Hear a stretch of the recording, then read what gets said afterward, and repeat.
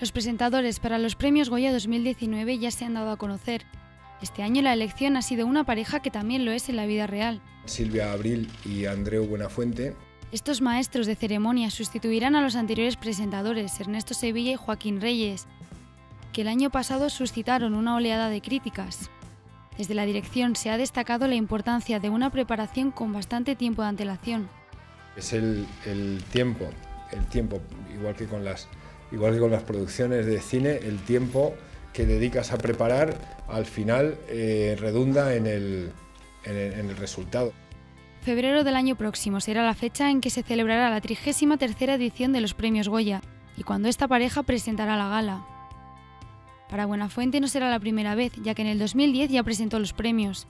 En dicha edición, Buenafuente batió el récord histórico de audiencia de la gala. ¿Correrá en esta ocasión la misma suerte o se estrellará igual que lo hicieron sus antecesores? Todo ello podremos verlo en la próxima gala de los Goya.